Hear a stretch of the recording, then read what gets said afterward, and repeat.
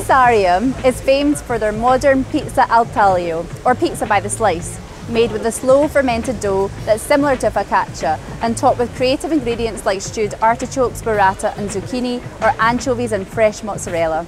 It's owned by Gabriele Bonci, who's now opened other spots in Rome and even over in Chicago.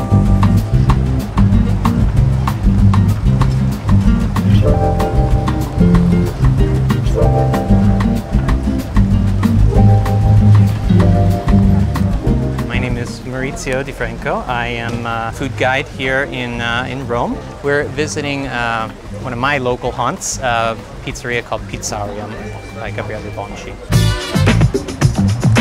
Gabriele was not the inventor of the of pizza, but he definitely perfected it. He's basically taken a more traditional style of, uh, of pizza by the slice and modernized it by using higher quality toppings, but also uh, a slow cold fermentation, you know, using a, um, a, mother dough that he's been cultivating for years and years. Every time you see pizza in Rome, especially the Roman pizza by the slice or pizza al taglio as we call it, um, it is a very thin, crispy uh, crust uh, with very simple toppings. Bonci is holding on to that tradition using still that very crispy bottom, um, but using that mother dough, using that sourdough, he gets that nice inside, uh, a little bit softer and a little bit taller.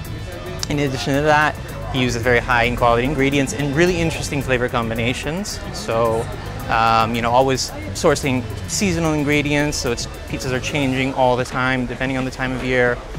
And, um, and they're always cycling through. So every few hours you can come and find a, a new pizza out. It is uh, the original street food of Rome, right. where you can pop into a bakery, buy a thin slice of it, and it's always done by weight. So depending on how hungry you are, you can get, you know, uh, as much as you want to eat, they'll weigh it and that's the price you pay. So yeah, typically it is a more on-the-go sort of street food. You'll see it more and more in cities around the world, um, this style of, of pizza by the slice. I think part of it is it is something new. You know, everyone is so used to the Neapolitan style, uh, you know, the pizzeria where you sit down, you order your whole pie uh, to yourself, whereas this is a little bit more fun, a little different.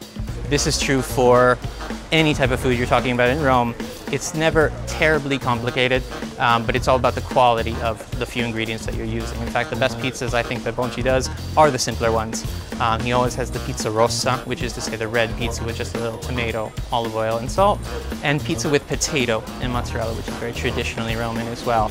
Um, as long as you're using good quality ingredients, it doesn't have to be, um, you know, a, a bunch of toppings thrown together. I have to say Bonci's pizza with, uh, with potato and mozzarella is to die for. It's something special about it. I'm a, I'm a traditionalist at heart, I guess, but it works.